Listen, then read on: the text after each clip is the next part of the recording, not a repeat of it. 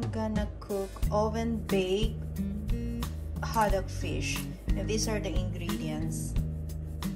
Minced garlic, lemon, oil, salt and pepper to taste. So line up all your fish fillet in a um, baking sheet